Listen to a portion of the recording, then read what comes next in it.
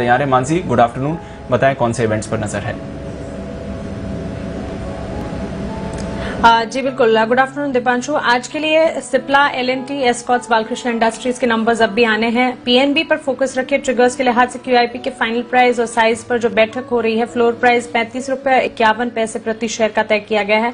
Oberoi reality पूंजी जुटाने पर बोर्ड बैठक होगी। केसुराम इंडस्ट्रीज़ नतीजे और पूंजी जुटाने पर एक बोर्ड मीट है। वहीं वेल्सपन इंडिया भी नतीजों के साथ बायबैक पर बोर्ड बैठक करेगा। एचपीसीएल दो करोड़ का बायबैक बंद होने जा रहा है। दाम ढाई सौ प्रति शेयर तय किए गए हैं। कल इंपॉर्टेंट नंबर्स कैश स्पेस के कुछ चुनिंदा है, Aarti drugs quick heal technology strident Ramkrishna forgings इसके अलावा टेक्समैको रेल क्यूआईपी के ज़रिए पूंजी जुटाने को लेकर एक बोर्ड बैठक करेंगे और सोमवार का दिन वायदा बाज़ार में कोलगेट फेडरल बैंक के नंबर्स आते दिखेंगे। बैंक ऑफ़ इंडिया बोर्ड बैठक में सरकार को शेयर जारी करने पर एक फैसला करेंगे।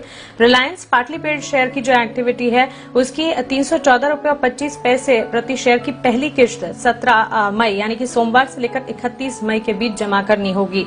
साथ ही ओरेकल फाइनेंशियल सर्विसेज़ दो सौ प्रति शेयर के अंतरिम डिविडेंड की एक्स डेट होगी और सोवरेन गोल्ड बॉन्ड 17 मई से लेकर 21 मई तक सीरीज़ सिक्स बॉन्ड जो है, वो जारी होते हुए दिखेंगे।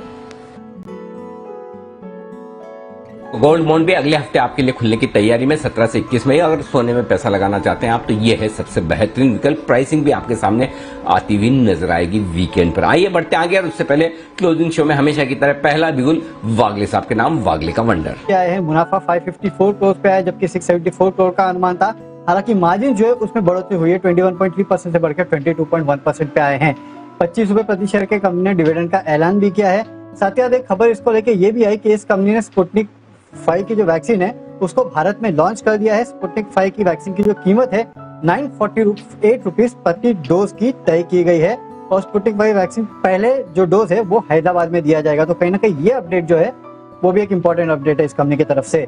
जिंदल स्टेनलेस घाटे से मुनाफे में ये कंपनी आई है। पैंसठ करोड़ के घाटे के मुकाबले 290 करोड़ के आसपास का मुनाफा इस कंपनी ने किया है। मार्जिन सात दशमलव दो परसेंट से बढ़ के तेरह दशमलव नौ परसेंट पे आए हैं। मेनल बेरिंग यहाँ कंपनी का मुनाफा तीन करोड़ के छह करोड़ हो गया यानी कि दुगना हो चुका है और कंपनी की आय में भी अच्छी खासी बढ़ोतरी हुई है। अनुप इंजीनियरिंग कंसोलिडेटेड मुनाफा जो है साढ़े आठ करोड़ से बढ़ के साढ़े सत्ताईस करोड़ पे आया है। कंपनी की आय भी दुगनी के आसपास हो चुकी है और कंपनी ने सात रुपए प्रति शेयर के डिविडेंड का ऐलान किया है।